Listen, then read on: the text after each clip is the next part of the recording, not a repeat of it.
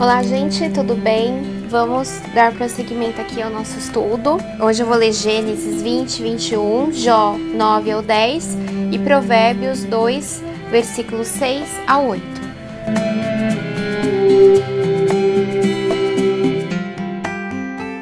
Só passando aqui um recado para vocês, né?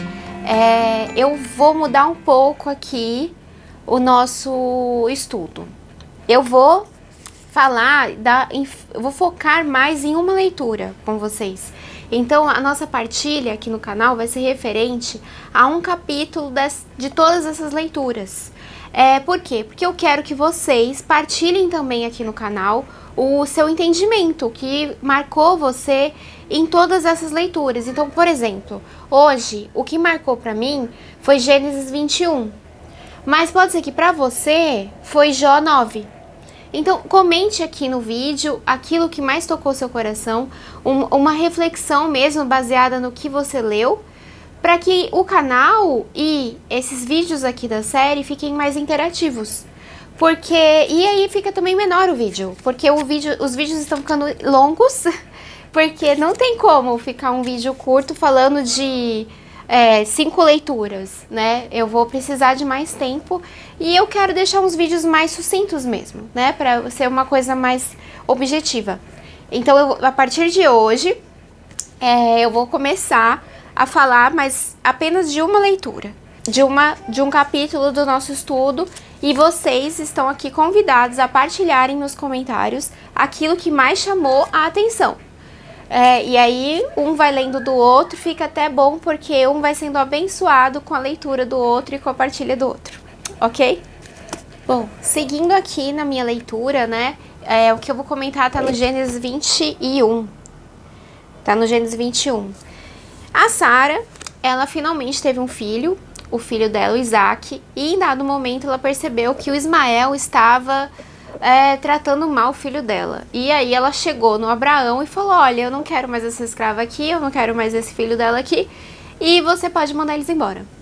O Abraão, ele foi comunicado ali em Deus. Deus falou para ele que o Ismael não iria morrer, que ele ia ser um grande guerreiro. Então ele teve uma confiança ali em Deus e mandou o menino embora junto com a mãe. Só que ele mandou o menino embora junto com a mãe é, para o deserto. E ele deu para esse menino e para essa mãe um pouco de comida e um cantil de água. Ele mandou eles dois para o deserto com um pouco de água e um odre ali de água, né? É, é, pouco, né? A gente sabe que é pouco. Mas Abraão, ele teve confiança em Deus aqui e mandou porque Deus já tinha falado para ele que o Ismael não iria morrer. Mas Agar não sabia dessa realidade. Então, quando ela foi pro deserto, ela já, veio, ela já foi meio que sabendo que aquilo ia dar ruim. E vê que eles vão morrer. Então, ela coloca o filho dela numa certa distância porque ela não quer ver o menino morrer. Ela já está convicta que eles irão morrer e ela não quer ver a, a criança dela morrer na frente dela. Neste momento, um anjo de Deus fala com Agar. Ele fala para ela: Agar, o que aconteceu? Não fique com medo.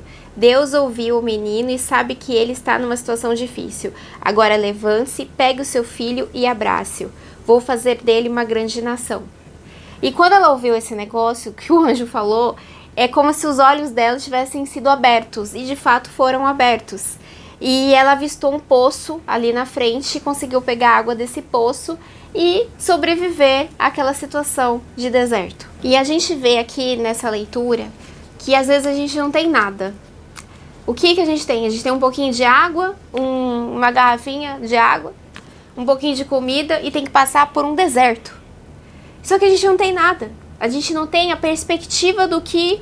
Então, mas como é que eu vou sobreviver a isso? Eu não tenho nada. Eu, eu, eu estou sem nada. Falta-te até a esperança para ultrapassar aquele deserto. Só que Deus, ele é o Senhor de todas as coisas e ele não precisa do seu muito para fazer grandes coisas na sua vida.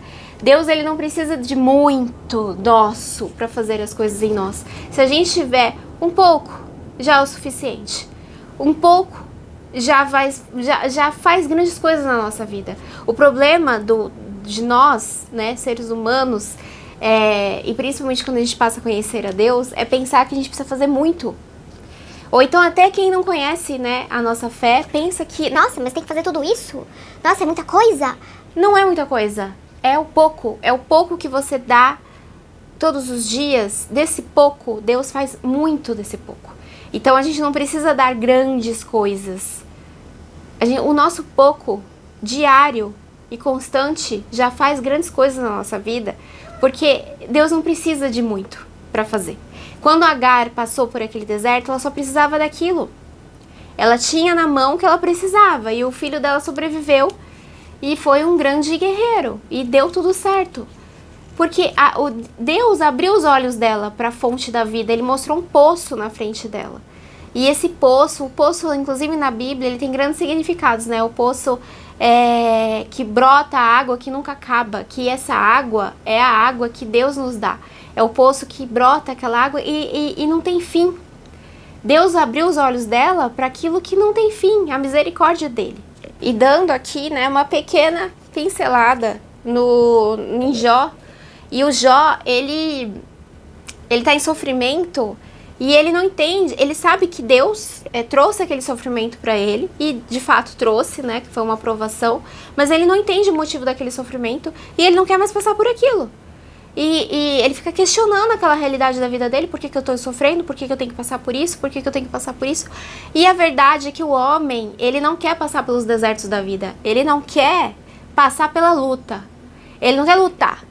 Ele quer que Deus dê para ele aquilo de graça, sem ter nenhum tipo de luta.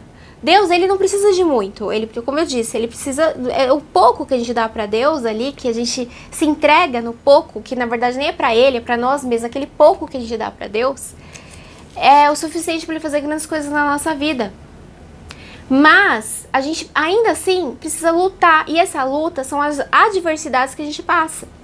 E ah, você não vai sair ileso desde o ventre da sua mãe até a sua velhice sem sofrer, sem chorar, sem se decepcionar, sem cair, ter que levantar várias vezes. Isso não existe, porque você precisa passar por essas coisas para amadurecer.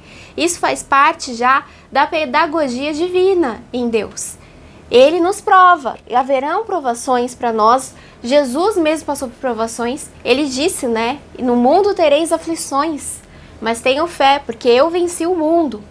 Porque a gente tem que se espelhar em Cristo e ver tudo aquilo que ele passou e nos espelhar nele. Se Jesus, filho de Deus, Deus encarnado, passou por todo aquele perrengue de ser maltratado, chicoteado, levar uma coroa de espinho na cabeça e, e ouvir um monte de coisa nada a ver. Por que, que nós, simples mortais aqui, achamos que Deus tem que nos dar tudo? Tudo que a gente quer, do jeito que a gente quer, na hora que a gente quer. Isso não, não compactua com a palavra de Deus. A palavra de Deus nos confronta para que você entre em luta. Luta contra a sua carne, luta contra as coisas do mundo que não tem nada a ver com Deus e com a harmonia dele que é perfeita. A gente entra em luta. Então Jó ali, ele tá passando por uma situação de luta. A Agar, quando pegou o filho dela e teve que passar pelo deserto, ela passou por uma situação de luta. Mas Deus, ele, ele não precisa de muito. Se você der aquele, aquela pequena entrega para ele, ele vai abrir seus olhos para o poço da água da vida. E esse poço da água da vida é o que nos dá o entendimento e o conhecimento das coisas, que já entra no provérbio.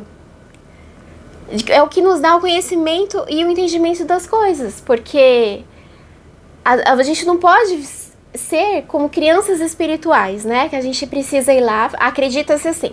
Eu vou rezar, vou pedir pra Deus e Deus vai me dar. Eu vou fazer uma novena, vou pedir pra Deus Deus vai me dar. Se eu ir pra igreja bonitinho todo domingo, Deus vai me dar.